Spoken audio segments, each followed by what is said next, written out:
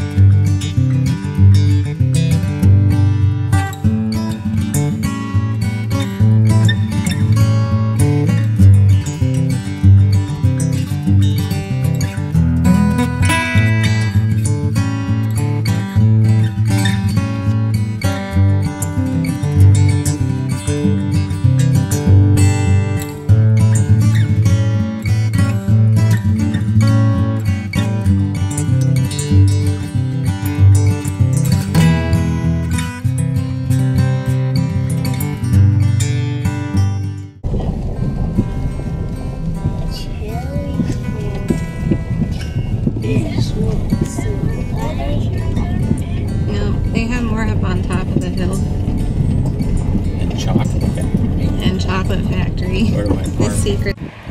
We're here where we buy our dried cherries for our Cherry City Chai. Picking up some things, getting a tour, and enjoying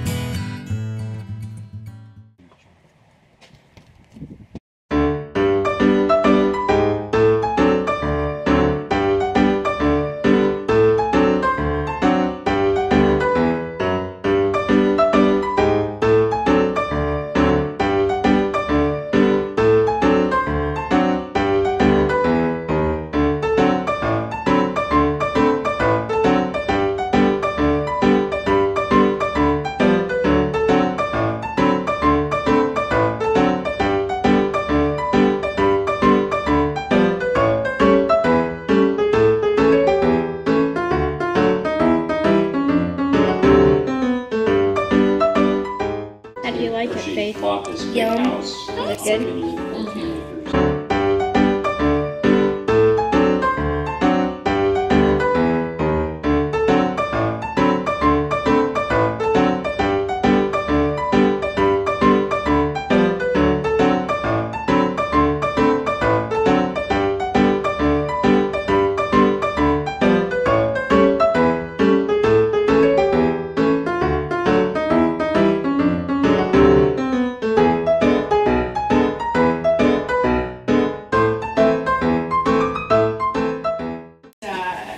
you know, it's really muddy and icky out there, so I'm going to suggest we just enjoy the cherries from up here today. Um, and uh, rather than walk around down there in the cherry orchard, our property actually goes up the hill, and our existing Royal Ann orchard is up on the top of the hill, and there's a really pretty view up there. bet. So it's an older orchard. It's the traditional um, large trees that are 30 and 40 feet. They're 60 years old, and we're actually in the process of trying tearing them out.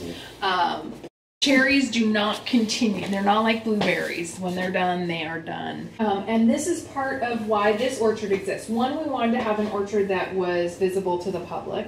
Um, and also, these are the new style of cherry trees. They're on um, dwarfing rootstocks, so they are grown and managed to be lower to the ground. Um, they do require a lot of pruning to keep them low, but then it doesn't require as much handwork for picking and pruning and everything else. Royal Anns are very perishable, so they don't um, have the shelf life that like Bing cherries have, or even Rainier cherries have. Um, and so, good for tea, though. yeah, they do. When you buy a cherry in the grocery store that's like the Royal Ann, the, the color and, and stuff, is that a Royal Ann? No, it's a Rainier. It's a Rainier. I would be shocked if you ever saw Royal Anns in a grocery store. So I have to try some Royal Anns like fresh at some point because I'm always impressed with the flavor of those Rainiers. You'd probably be So super a- if a Yeah. Royal Ann's Yeah, better than that, it it's gotta be is. pretty good. Yeah. We're gonna start at the beginning. So So the fruit comes off the cherry trees. Uh, we have a of that, tank huh? that we'll put at the end of this table to rinse off all of our fruit and clean out any field debris, dust, leaves, things like that. So we rinse out the fruit and then all of the fruit goes up on this sorting line. The real workhorse of this operation, besides our employees, because they're, they're, we couldn't do it without them. I'm very curious But- about this. And come off the table into this hopper, which kind of moves back and forth, and then the cherries fall into the cavities. And these are the knives that punch out the cherry pit. Only good cherries will fall down into the white buckets underneath, and then the cherry pits come out the side over here. There's water that's running through this machine, help keep everything moving. And so I'll move this so you can see those knives going up See that, and then down. And those, those things go down inside and punch the pit out of the cherry. freeze them after harvest. So they're sitting in frozen storage until we're ready to work with them. Mm-hmm. So we thaw the cherries, they go on these trays here, and then the juice Cherry. falls down into the blue tub here, so we're able to separate out the juice, and just the fruit stays on here. There Okay, go. drum roll, this is our dryer. It's a big at furnace in a box, Yeah. basically. And so we'll take those same trays and put them on the rack, just like this. So it looks like a, almost like a bread rack or hmm it is. And uh, so we'll fill this up with trays, put them in there, turn on the heat, and we start drying. This is when everybody has to put on a hairnet. Okay. The chocolate factory. Okay, so I have hairnets for everybody. I put it One for you. Sure. Hold that. Oh, thank you. You didn't have to do that. but you didn't want to be left out. No, I'm. I'm I even make the bald guys wear it. You know, gotta keep every, include everyone. Looks good. a hairnet, see? So this is Josefina. She's our chocolatier. Hi. She's worked for us for almost nine years now. So we have a separate dark chocolate and a separate milk chocolate machine. So there's no cross contamination with our chocolate. So we always know our dark chocolate is vegan. Right now, Josefina is making the molds. So what she'll do is she actually fills it up with chocolate and then she dumps the majority of it back into the tank because we just want to create a shell of chocolate on the mold and um, so that she can come back and fill it with cherry. This is a table, so there's a lot of air that is created in the chocolate with that machine. So this table allows her to get the air bubbles out of the chocolate. She'll go through and add cherries into the center of each piece. And she can't do it right now because the chocolate isn't at the right temperature. And I'll explain that next. Imagine there's cherries that she put cherries in the center. And now she's gonna finish off those pieces with more chocolate. And so now she's got a full chocolate piece and it'll go back up on the table.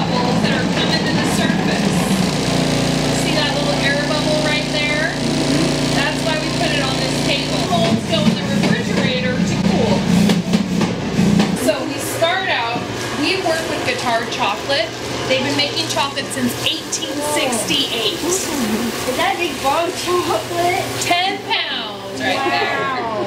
there. Is it dark chocolate? This is dark chocolate, yes. Don't get put. Get all of that. Will she? I have a reputation.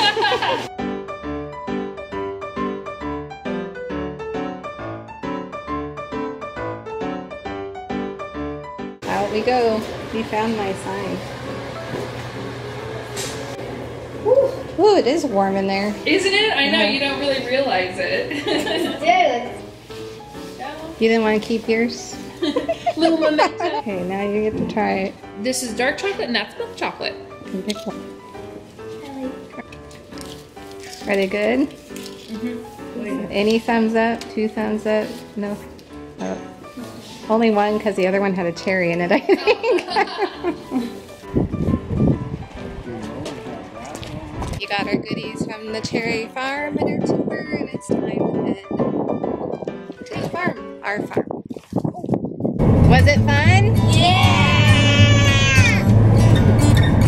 I think we liked it. How about you? Did you like it? Yep. Thanks for taking us. Tell me two things you learned. I learned a little bit about chocolate, which was pretty interesting. And then I got like the whole history of the place. So that was very interesting to me.